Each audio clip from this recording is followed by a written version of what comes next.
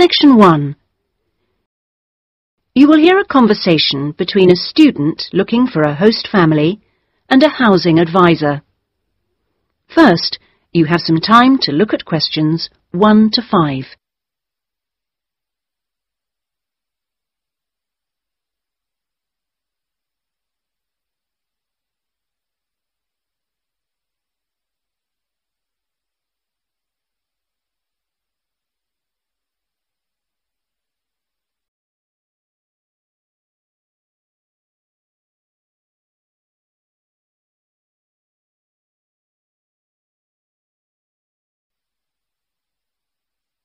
You will see that there is an example which has been done for you. On this occasion only, the conversation relating to this will be played first. Good morning. How can I help you? Good morning. Um, I understand you help fix up students with host families. That's right. Are you interested in... uh, Yes. Well, please sit down and I'll just take a few details. Uh, Thank you. Right. Now, what name is it? Jenny Chan. Can you spell that, please? Yes. J E N N Y C H A N. Right. And what is your present address? The student's name is Jenny Chan, so Jenny Chan has been written on the form. Now we shall begin.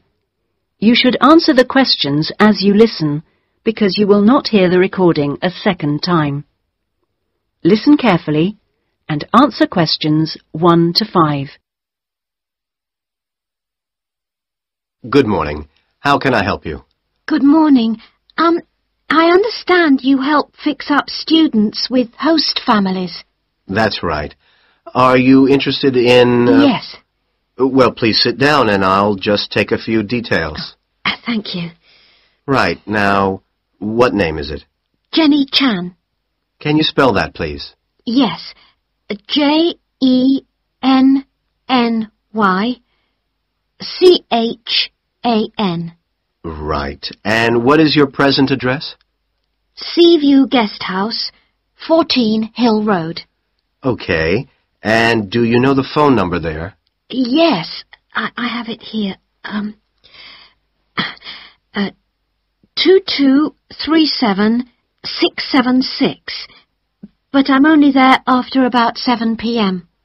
So when would be the best time to catch you? I suppose between nine and, let me see, half past, before I leave for the college. Great. And can I ask you your age? I've just had my 19th birthday. And how long would you want to stay with the host family? I'm planning on staying a year, but at the moment I'm definitely here for four months only. I have to get an extension to my permit. You're working on it? Mm. Fine. And what will be your occupation while you're in the UK? Studying English? And what would you say your level of English is? um, good, I think. I'd like to say advanced, but my written work is below the level of my spoken, so I suppose it's intermediate. Hmm, certainly your spoken English is advanced. Anyway, which area do you think you would prefer?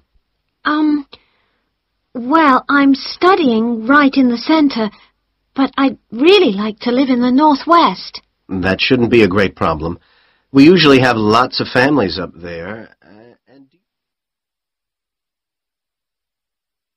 Before you hear the rest of the conversation, you have some time to look at questions 6 to 10.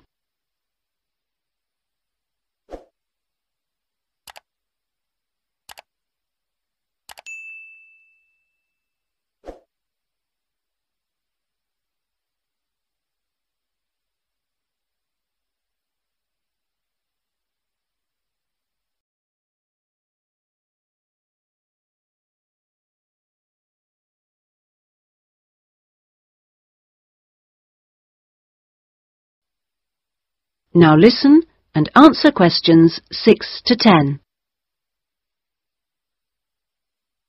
And do you have any particular requirements for diet? Well, I'm nearly a vegetarian. Not quite. Shall I say you are? It's probably easier that way. That would be best. Anything about your actual room? Uh, I would prefer my own facilities. En suite, is that right? Mhm. A- and also, if it's possible, a TV. And I'd also like the house to have a real garden, rather than just a yard. Somewhere I could sit and be peaceful. Is that all?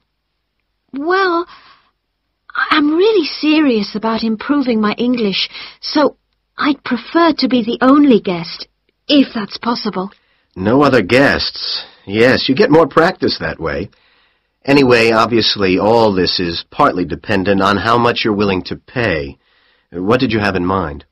I was thinking in terms of about sixty to eighty pounds a week, but I'd go up to a hundred if it was something special. Well, I don't think we'd have any problems finding something for you. Oh, good. And when would you want it for? I'd like to move in approximately two weeks. Let me see, it's the 10th today. So if we go for the Monday, it's the 23rd of March. Yes. Right. Good. And if I could ask one last question. That is the end of section one. You now have half a minute to check your answers.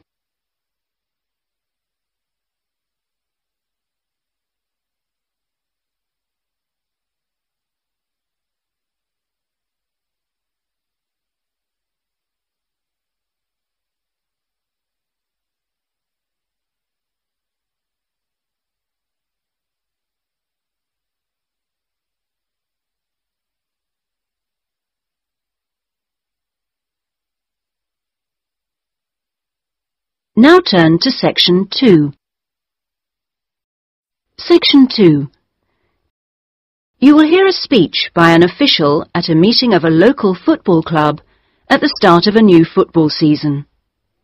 First, you have some time to look at questions 11 to 17.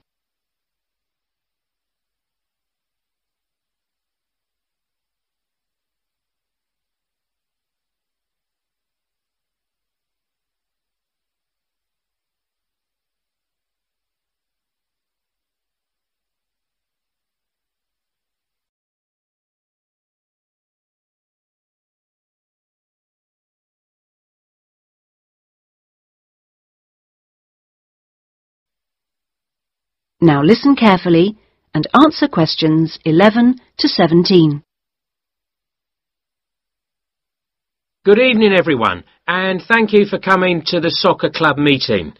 It's good to see so many parents and children here tonight, and I know you're looking forward to a great football season. Now, I'd like to take a few minutes to tell you about some changes to the soccer club for the coming season. Now, this season, we'll be playing all our matches for both the junior and senior competitions at Kings Park instead of Royal Park, which was used last season. Now, for meetings, we're going to use the clubhouse in Kings Park, and the next meeting will be held in the clubhouse on the 2nd of July. As usual, we hope to begin the season with a picnic next Saturday at the clubhouse. Uh, please try and come to the picnic as it's always good fun.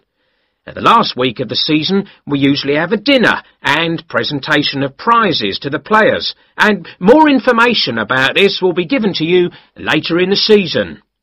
This season, we have more teams than ever. We hope to have ten teams instead of five in the junior competition, and they will play on Saturday mornings beginning at 8.30am. Training sessions will be held in Kings Park on Wednesday afternoons for the juniors, and they will be wearing red shirts again this year.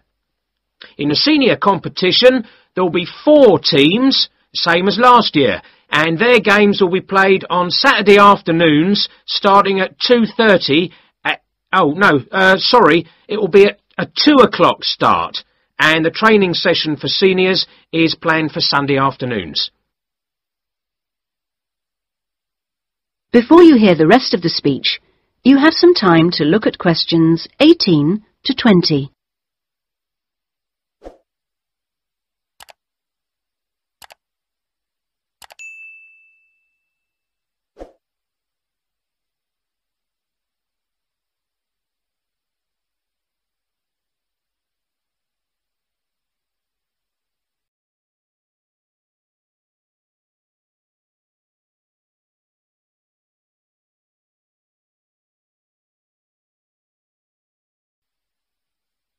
Now listen and answer questions 18 to 20. Now, I'd like to introduce you to the new committee for the soccer club for this season. Uh, firstly, let me welcome Robert Young, the new president, who will manage the meetings for the next two years. Robert's son has been playing football with the club for over five years now, and uh, many thanks to Robert for taking on the job of president. Next, we have Gina Costello. She's the treasurer, and she'll collect the fees from you for the season. Uh, please try and give Gina your fees as early as possible in the season, as the club needs the money to buy some new equipment.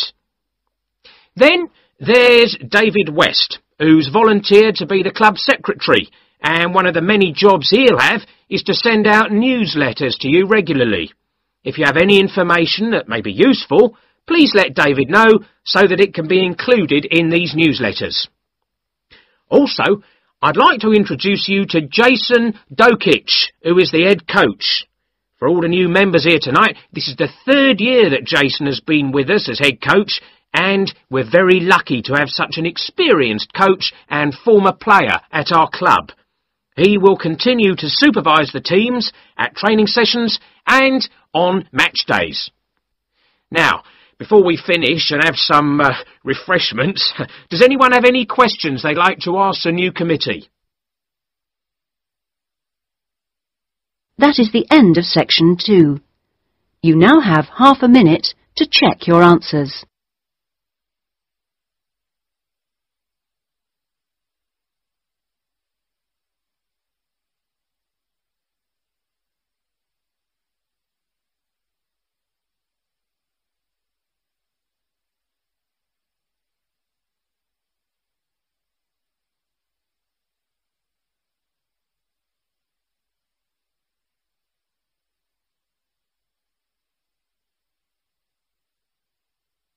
Now turn to section 3.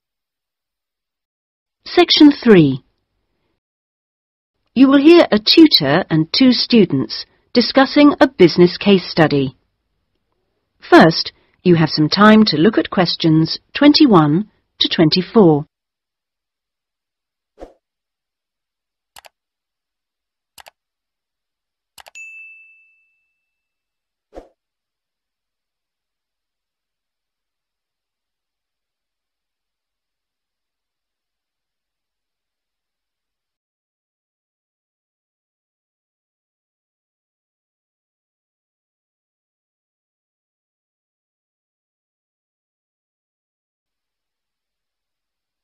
Now listen carefully and answer questions 21 to 24. Right, Jason and Karen. Now, I asked you to look at the case study for Box Telecom as part of your exam assessment. It's interesting because they're in the middle of problems at the moment, and I want you to track how they deal with them. Um, let's start with you, Karen. Having read through the case study, can you just summarise what the problems were that Box Telecom had to take on board? Um, yeah. Um, well, of course, what first came to their attention was that despite a new advertising campaign, they were suffering from falling sales, and this is something that had many causes.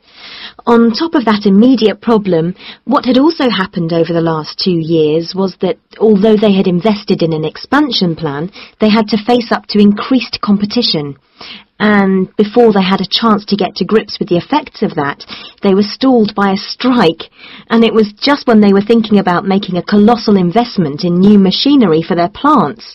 So they were really in trouble. Yes, I think that's fair. And, Jason, um, now, you contacted the company, didn't you? Hmm. What did the company define as the reasons for these problems? Well, I think they've hit on the right things. It would be easy to say they had invested too heavily or at the wrong time, but in fact the signs were good, and what they were set back by was high interest rates. At the same time, their longer-term problems, which were affecting their market share, were eventually credited to poor training. And having looked at the details in their last report, I think that's right. Before you hear the rest of the discussion, you have some time to look at questions 25 to 30.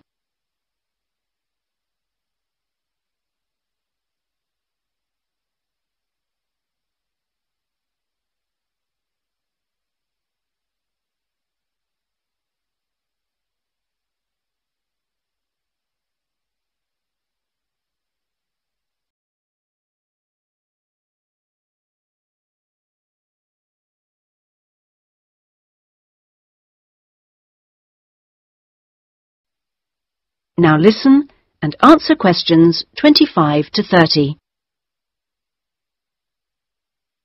So, on to the larger issues then. Karen, what do you think the company will do? Hmm, well, obviously they have the choice of accepting the very favourable terms that another company, KMG PLC, have given them to buy them out. That would mean creating a new company with a new image. Or they could decide on a bolder move and offer some new shares if they wanted. But I think they're much more cautious than that and expect they will start trying to find individuals who'd be prepared to back them with some of the capital they need. Well, you mustn't always assume that dramatic problems require dramatic solutions. Sometimes there's a simple fix, such as changing the guy at the top. If they truly are cautious, then I suspect they will seek to shut down some of their shops. But a more ambitious approach, and one which I think would have more chance of success, would be to alter how they're running things, the management layers and the processes. So in your analysis, try to think of all the options. Jason? Yes, it's interesting because I found it a really useful company to study. Its problems cross all types of industries, and it's lucky it's so big. A smaller or even medium-sized company would have gone under by now. Ah, well, in fact, what I want you two to do is to go away when we've finished our discussion today and write a report. We've looked in general at the telecommunications market in the UK over the last few sessions, and I want you to take Box Telecom as an example and suggest some ways in which they might overcome their problems, and outline the reasons why you think as you do. But try and keep it intrinsic to the company rather than dragging in other examples. Is that okay, Karen? Yes, I think I can do that. Personally, I've got great hopes for it. I think it will recover. That advertising campaign they did was very strong, and they're very innovative with their products. They set new trends. The company's got to recover, don't you think, Jason? Hmm, I'm not sure. I think it can, but it's not a foregone conclusion unless they manage to attract the right level of investment. The company definitely needs a boost, and to attract more highly skilled workers if their recovery is to be long-lasting. When I was talking to the marketing manager, he said to me that he thinks the company had got a great management team. But he would say that, wouldn't he? but they are suffering from having to work with outdated production machinery, and that could cost a lot to put right. Well, personally, I think the stock market is to blame. I think they were expecting too much of the company, and then inevitably it looked bad when it didn't perform. The market should have had more realistic expectations. And I disagree with you about the advertising campaign, Karen. That's where they could do with some innovation to get sales kick-started. Anyway, let's see what you come up with with those. That is the end of section 3. You now have half a minute to check your answers.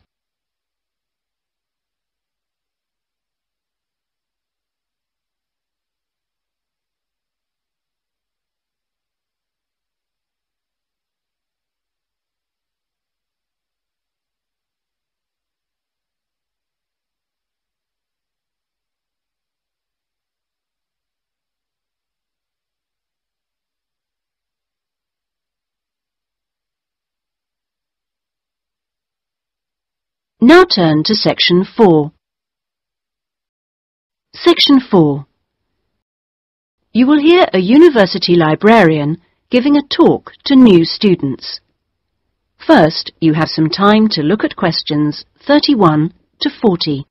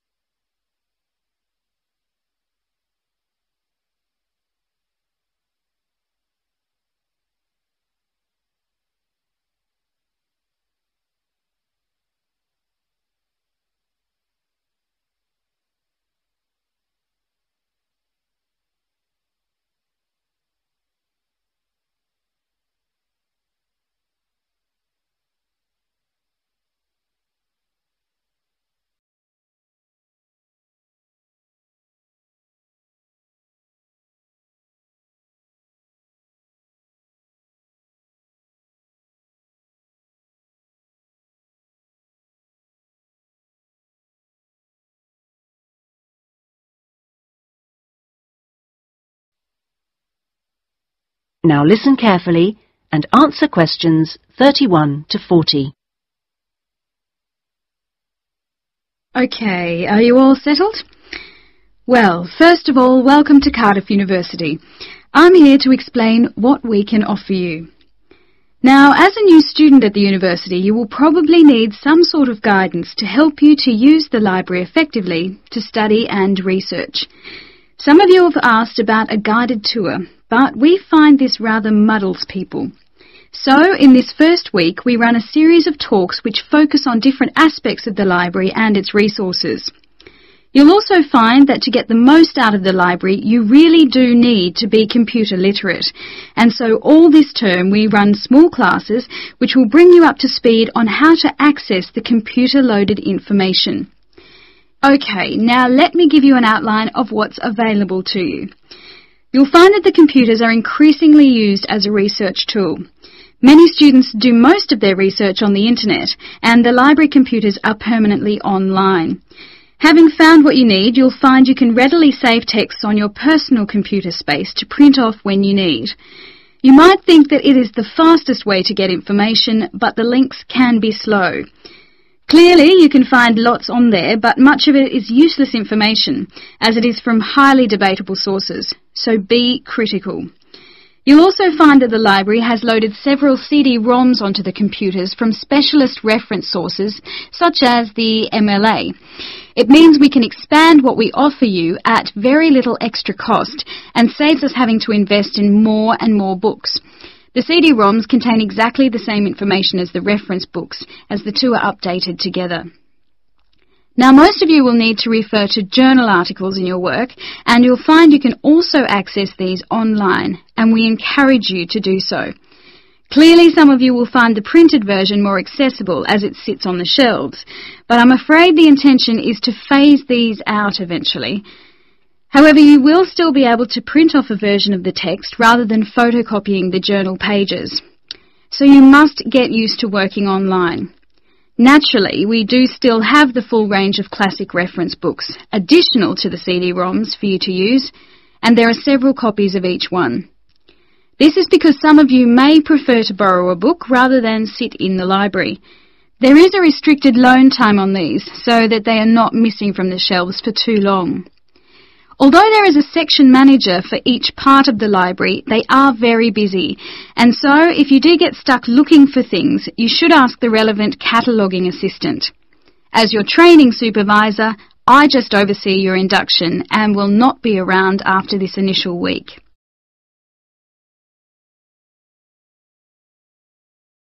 Some of you may be interested to know that the library is offering specialised training sessions on writing a dissertation. Obviously, this is not relevant to those of you who are undergraduates. It is just for postgraduates. Your department will discuss the planning stage of the dissertation, i.e. what you're going to do with you, and we will focus on the structure of it. However, the training will also include some time on the computers. I realise most of you know how to organise files, but we can show you the different ways to run data programs. Your tutors will tell you at the outset how to set out the chapters they require, but you will need to ask them how they would like you to organise the bibliography, because it varies depending on your subject area. When you've got something together, the trainer here will look through the draft version for you to see if it's okay. And one final point, for those of you who have registered from abroad, we can offer individual sessions on dissertations if you feel you need them. If you require language lessons, then they are available from the International Centre next to the Law Department. That is the end of section 4. You now have half a minute to check your answers.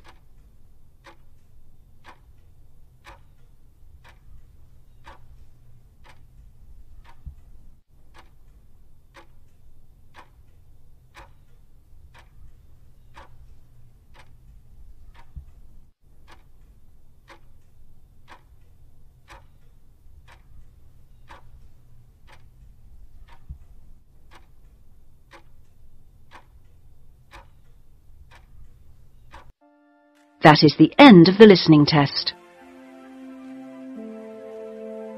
In the IELTS test, you would now have 10 minutes to transfer your answers to the listening answer sheet.